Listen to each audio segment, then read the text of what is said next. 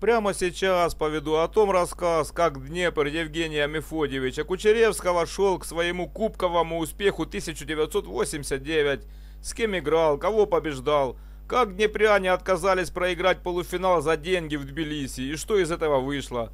Про скандальный финал с незасчитанным голом Юрия Савичева и протестами московского торпеда после – а также как фаворит Кубка СССР 1988-89 Киевская «Динамо» Валерия Васильевича Лобановского буквально проползала всех своих оппонентов, пока в полуфинале не влетела московскому торпеду Валентина Козьмича Иванова. А также как в Тбилиси проигрывал четвертьфинал московский «Спартак». В общем, будет много интересного. Поехали!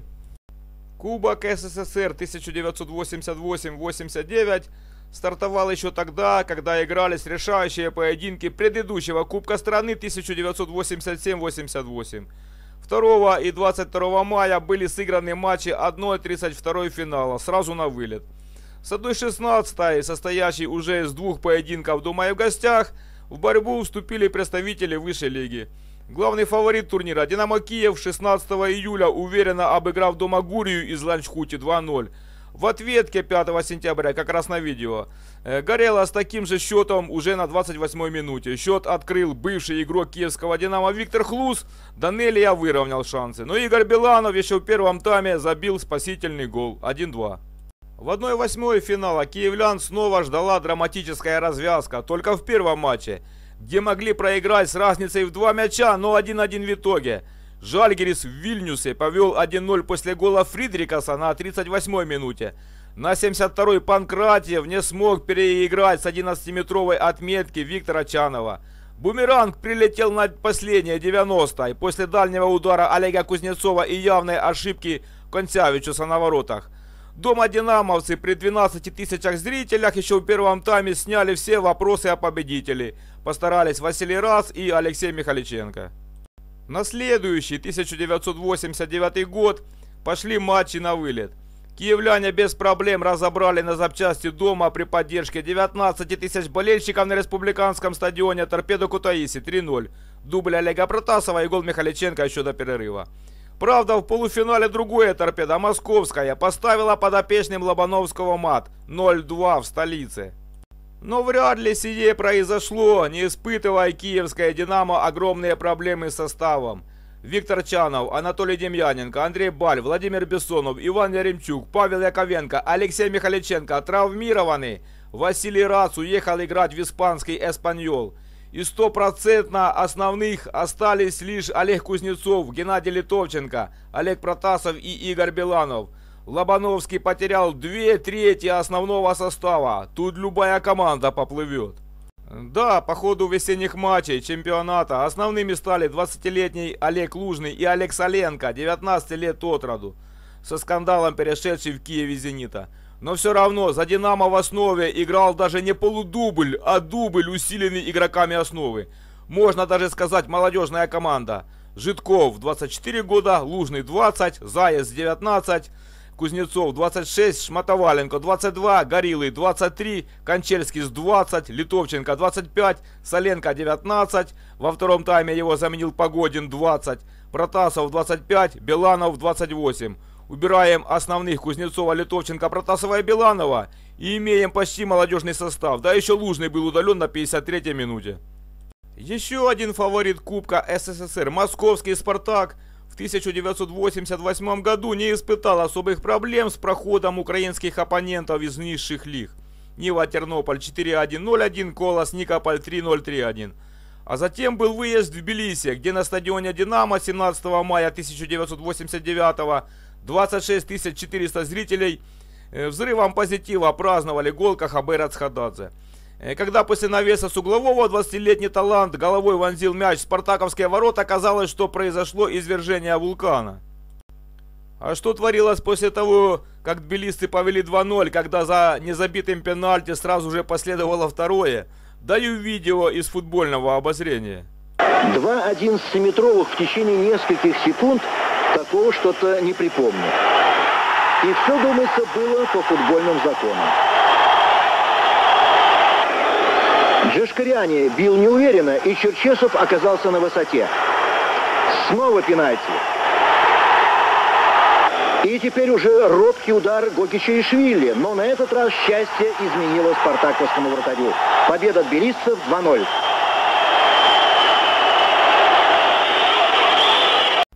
Через 4 дня, 21 мая 1989 года, в Тбилиси на полуфинал приехал еще один лидер советского клубного футбола – Днепр. Дальше слово Игорю Шквырину, который наблюдал за матчем из скамейки запасных. Цитирую. В Тбилиси мы проводили полуфинал Кубка СССР. Нам сразу предложили большую сумму за сдачу матча, но, разумеется, все отказались. По ходу встречи Днепр вел 2-0. Играть оставалось еще 10 минут. Я тогда был в запасе, поэтому все прекрасно видел. В центре поля на бровке столкнулись игроки Днепра и Динамо. Арбитр штрафной не назначил. Грузинский футболист, мое уточнение Сосочедия, э, повернулся к трибунам, начал громко возмущаться, размахивать руками. А люди словно этого и ждали, и в мгновение ока смяв милицейские кордоны, они рванулись прямо на поле. Наши ребята вместе с судьями тут же бросились на утек в сторону раздевалок.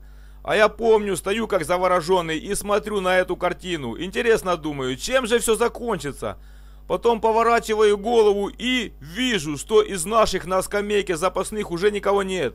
Тут до меня дошло, что надо быстро рвать когти. А на арене творится беспредел. В ход пошли пустые бутылки, гирьки, которые используют на базаре. Еще какой-то хлам. В Леху чередника кинули здоровенный железный штырь, просвистевший у него по духам. Володе Лютому кто-то заехал кулаком в челюсть.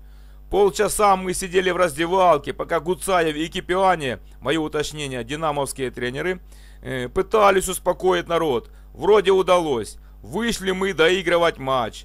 На последней минуте судья поставил в наши ворота утешительный пенальти. В итоге мы победили 2-1 но после игры еще два с половиной часа не могли покинуть стадион, который окружили разъяренные болельщики.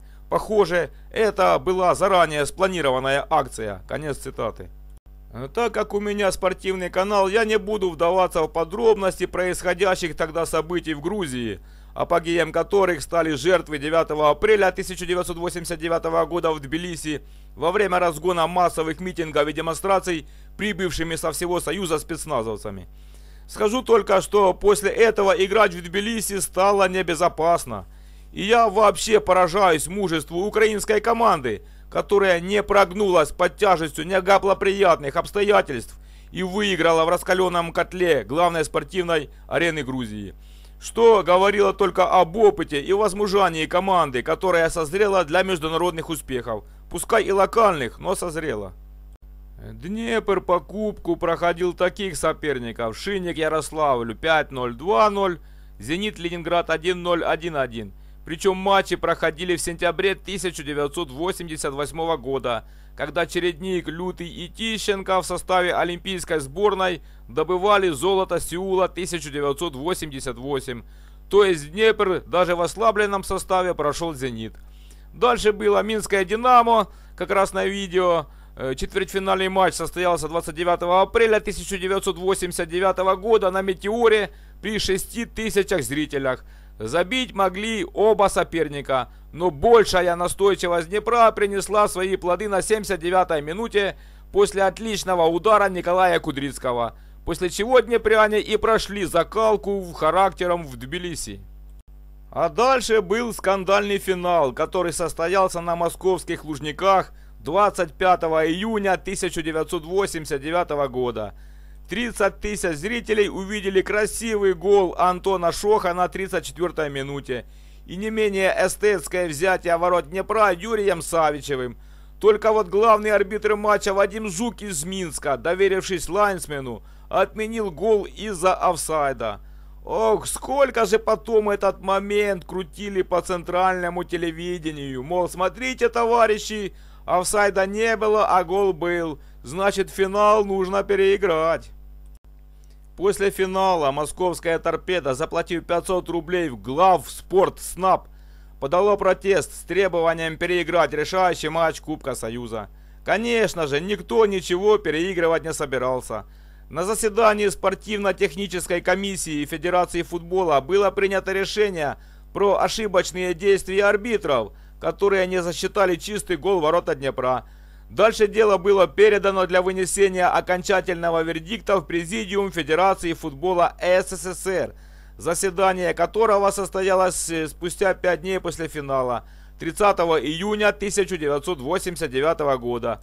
Большинством голосом 9 э, против 3 было принято решение торпедовский протест отклонить и оставить результат финала в силе. Никто не оспаривал ошибки Лайнсмена – но при этом руководствовались параграфом 33 э, положения о всесоюзных соревнованиях по футболу, который гласит, цитирую, «Не принимаются к рассмотрению протесты, если они поданы на решения, принятые арбитром по имевшим место в игре случаям». Конец цитаты. Таким образом, Днепр впервые в своей истории выиграл Кубок СССР – Главный тренер торпеда Валентин Иванов от переживаний слег в больницу. Все эти обстоятельства очень негативно повлияли на автозаводцев. До финала они шли на втором месте чемпионата страны. После стали больше проигрывать. В итоге не смогли достойно защитить честь всего советского футбола на международной арене в Кубке Кубков. Из этого всего можно сделать вывод, что неудача в финале Кубка СССР – и последующие после него события с разбирательством протеста сломали торпедовцев, прежде всего в психологическом плане. Хотя, если команда высококлассная, то должна быстро восстанавливаться после подобных ударов судьбы. Торпедо сие не удалось, и вторую часть сезона парни Валентина Иванова провалили. Сейчас читаю эти строчки и думаю, как же хорошо, что придумали ВАР – ведь это ж сколько футбольных несправедливостей удалось бы избежать. Да, был бы видеоповтор в 1989 году, то еще неизвестно, кто бы выиграл финал Кубка СССР. Но история не терпит сослагательного наклонения. Случилось то, что произошло. Днепр впервые в своей истории выиграл Кубок страны и в таком вот составе. Сергей Краковский, Андрей Юдин, замена Александра Червоный, 88 минута, Иван Вишневский, Андрей Сидельников, замена Владимир Лютый, 83 минута, Вадим Тищенко, Николай Кудрицкий, замена Евгений Яровенко, 67 минута, Владимир Багмут, Алексей Чередник, Антон Шох, капитан, Эдуард Сон, Евгений Шахов. Тренер Евгений Кучеревский. Итак, на Кубке Советского Союза появится 14 надпись. Надпись 14 команды это Днепр, Днепропетровск. Понимаю, устали очень? Так, есть, конечно. Вот. Ну а что ощущаете? Вот были чемпионами Советского Союза, теперь завоевали э, Кубок страны. Это, наверное, даже может быть э, больше успех, чем чемпионское звание. Потому что Днепр еще не был обладателем Кубка, а чемпионом уже был. Поэтому не только я сегодня счастлив, я думаю, вся наша команда, все наши болельщики, которые болели за нас, большое им спасибо, мы очень счастливы. Ну еще раз поздравляю вас э, с победой. Спасибо большое. Евгений Михайлович, немножко ваше бледное лицо, все в порядке? Да. Как уже? Антон, вот сюда. Евгений Михайлович, как самочувствие? Что легче, выигрывать или сидеть на скамейке? Ну, очевидно, выигрывать. Там работа заставляет. И нервы. Некогда не думать о нервах. А здесь каждый момент, каждый эпизод отдается, кажется, тебе в сердце. Поэтому, э, в принципе, игра, может быть, не столько получилась зрелищно красивой, но по накалу, конечно, она была очень динамичной. Огромное желание было у той и другой команды победить. Когда поверили в победу, вы лично? Когда э, судья дал финальный свисток.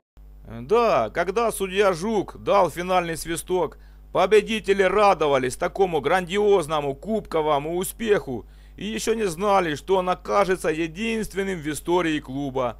Что интересно, Днепр стал четвертым украинским клубом, с которым в 1980-е торпеда сражалась в финалах Кубка СССР. И если однажды, в 1986 году, автозаводцы оказались сильнее Донецкого Шахтера 1-0, то в 1982 победили киевляне 1-0, в 88-м Харьковский металлист 2-0, в 89-м Днепр 1-0. Такая себе фатальная Украина для столичного торпеда, так же, как и сама команда Иванова для Спартака. Впрочем, это уже совсем другая история. С вами был Саныч, до новых встреч!